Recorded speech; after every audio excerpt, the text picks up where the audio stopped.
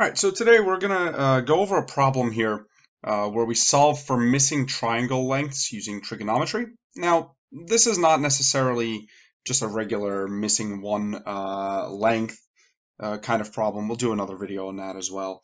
Um, this is a question that was very similar to one I found in a practice SAT uh, that I found a couple of my students having some trouble with.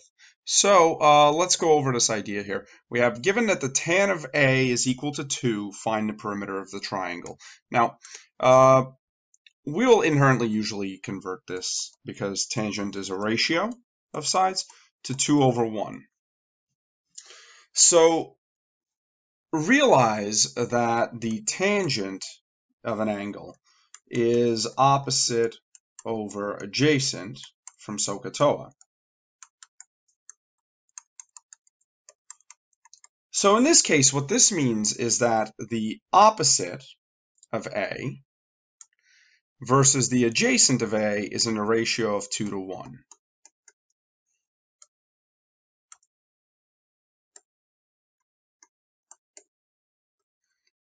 So what that means is that the ratio of BC,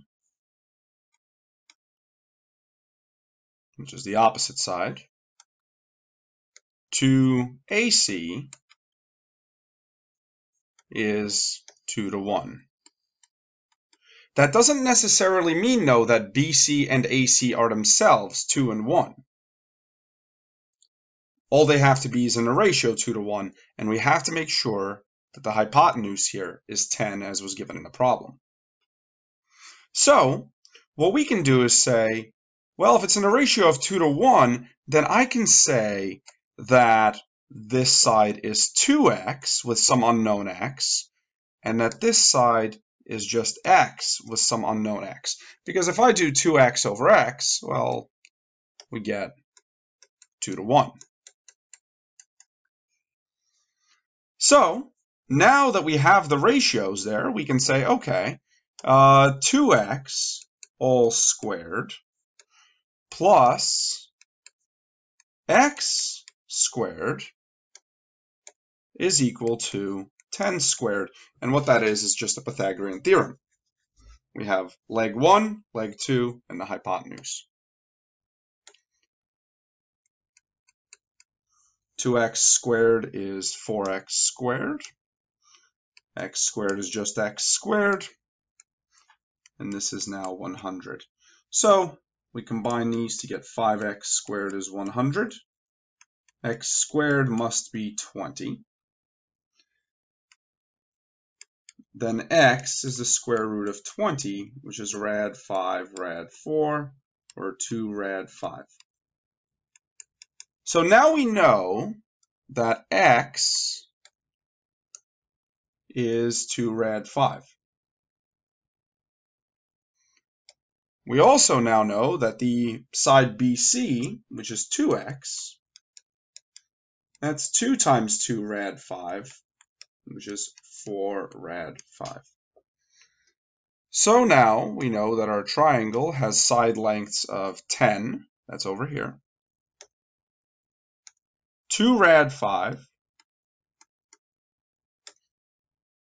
and 4 rad 5.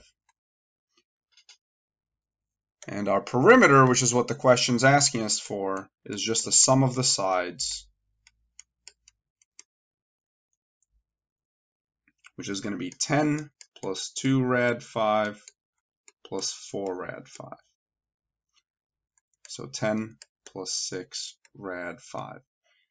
It's important for these questions to use all of the information given to you and to remember that these ratios don't necessarily mean that the sides are exactly 2 to 1. I mean, uh, 2 and 1. They just have to be in a ratio 2 to 1. And anytime we have a ratio like that, we can always say, well, 2x and x are in a ratio of 2 to 1, and then we can use other information, like in this case the Pythagorean theorem, to solve for uh, the missing sides. Uh, thank you for watching, and if you found this helpful, subscribe to our channel, check out our other videos, and feel free to email us. Our information is uh, in, the in the comments uh, below, uh, in the video description. Uh, feel free to email us with any questions you may want us to go over. Thank you very much.